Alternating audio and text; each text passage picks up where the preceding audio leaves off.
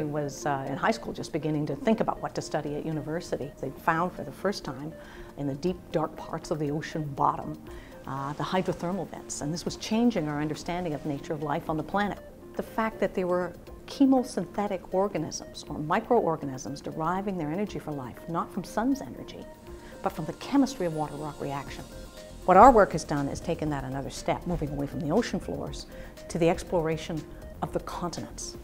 We work all over the world, but one of the most important localities for these kind of rocks is the Canadian Shield. Some of the sites, we found water that pushes back our understanding of how old groundwater can be, because some of these waters actually have residence times on the order of billions of years. Most uh, of the oldest water that has ever been proposed to have been found is maybe 100, 200 million years old. The other very important thing about this water is that it is very salty.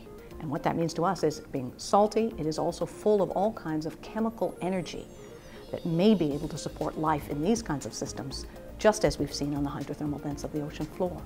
Understanding where we see life and where we don't see life in the deep, salty waters and ancient rock on our planet will help us design strategies for looking for life or evidence of past life on the deep, salty waters in the ancient rocks of Mars. And so if we're looking for life on Mars, we understand now that either if life ever arose and then became extinct, or if there's any evidence that there's still some microbial life present on our sister planet, that that life is likely deep within the planet, protected from the very harsh surface environment.